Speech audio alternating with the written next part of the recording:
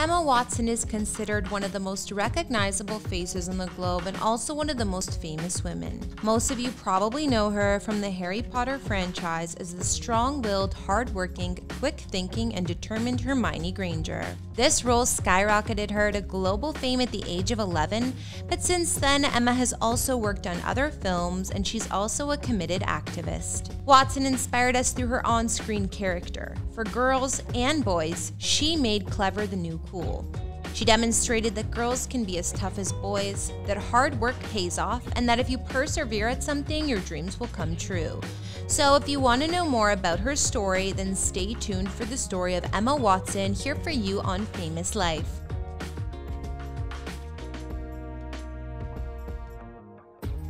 Emma Charlotte Dwyer Watson was born on April 15, 1990, in Paris, France, to British parents Jacqueline and Chris, both lawyers who were living in Paris at the time of Emma's birth. She has a younger brother, Alex, who was born on December 15, 1992, in Paris, France, just like herself. Emma lived in France until the age of five when her parents divorced and returned to the United Kingdom. Emma was raised by her mother in Oxford while each parent had since remarried. Emma ended up with not only a stepfather but two stepbrothers, and on her father's side, she has a younger half brother, Toby, born in 2003, and half sisters, identical twins, Lucy and Nina, born in 2004. Emma attended the Dragon School, a renowned prep school in Oxford, between September 1995 and July 2001. She then went on to attend Headington School, a private all girls school, between 2001 and 2006. Emma was a star student at school, brilliant at academics, much like Hermione, her character in the movies, and was interested in playing field hockey, netball, and tennis, skiing, painting, cooking, singing, and dancing. But from the age of six, Emma knew that she wanted to be an actress, and for a number of years, she trained at the Stagecoach Theatre Arts, a part time theatre school where she studied singing, dancing, and acting. By the age of 10, Emma had performed and taken the lead in various Stagecoach productions, and also appeared in a couple of school plays. Her teachers suggested that she should try out auditioning for the film adaptation of British author J.K. Rowling's best selling novel for the role of Harry's best friend, Hermione Granger. Well, she auditioned for the role eight times, and while right from the audition she won the heart of the author herself, J.K. Rowling, it was the producer David Heyman who told Emma and her co stars they had been cast as the leads Hermione Granger, Harry Potter, and Ron Weasley. This was when her life would turn completely as she became one of the most recognized and bankable Hollywood stars. As a child actress, fame can be difficult to navigate.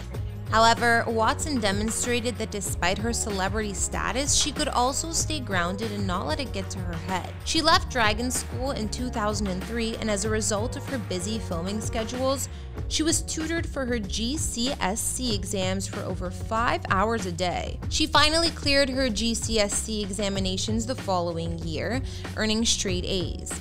She completed her schooling education while playing Hermione and then also her higher education at Oxford and Brown universities, alongside her acting career. Watson is an inspiration for that alone.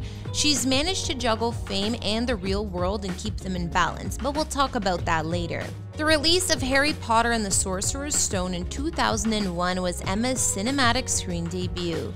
The film broke records for opening day sales and opening weekend takings and was the highest grossing film of 2001. Critics praised the film and the performances of the three leading young actors. Later, Emma was nominated for five awards for her performance in the film, winning the Young Artist Award for Leading Young Actress in a Feature Film. After the release of the first movie of the highly successful franchise, Emma became one of the most well known actresses. She continued to play the role of Hermione for nearly 10 years in all of the following Harry Potter films. Emma acquired two Critics' Choice Award nominations from the Broadcast Film Critics Association for her work in the Harry Potter series. Though she was eager to portray Hermione, she committed to the role when she was only nine. As Watson aged, she began to question whether or not she had the right temperament to be an actor. In an interview with Vanity Fair, she opened up about examining if she was in the right job. She stated, I've been doing this since I was 10 or 11, and I've often thought I'm so wrong for this job because I'm too serious. I'm a pain in the ass. I'm difficult. I don't fit. But as I've got older, I've realized no, taking on those battles, the smaller ones and the bigger ones, is who I am. While some people may be surprised to know an actor as successful as Watson questioned her career, it makes total sense. When she committed to be an actor, she had no idea exactly what it entailed, but we're sure her millions of loyal fans are all too pleased she decided that acting was still the right path for her. Since then, Watson starred in a number of other films. She was cast in the film adaptation of The Perks of Being a Wallflower, which released in 2012, for which she won a couple of awards. In summer 2013, Emma starred in Sofia Coppola's film The Bling Ring. And in 2014, Emma was seen in Darren Aronofsky's Noah opposite Russell Crowe, Jennifer Connelly, and Anthony Hopkins. A year later, Emma starred in Regression and she was also seen in a smaller film, The Tale of the Despereaux. Aside from acting, she has also forayed into modeling, determined to show her talent and versatility and not to just be seen as Hermione. She'd modeled for Burberry and Lancome, becoming actively involved with the fair trade fashion brand People Tree. Watson also studied at Brown University in Providence, Rhode Island from 2009 to 2014, earning a degree in English literature and discovering her passion for activism. She said, I got famous very young, and Brown gave me a safe zone where I could figure things out without people projecting onto me their ideas of what they wanted me to be or thought I should be. She was back on the big screen as Belle in Disney's Beauty and the Beast, the big budget live action musical, which broke records for the most viewed new movie trailer with 127 million views in its first 24 hours, beating Fifty Shades Darker record. Little Woman is the last film that Emma worked on, based on the novel where Emma plays the role of Margaret March, and it was released in December 2019. Back in February 2021, rumors began swirling that Watson was retiring from acting. This came after she hadn't posted on social media for a lengthy amount of time.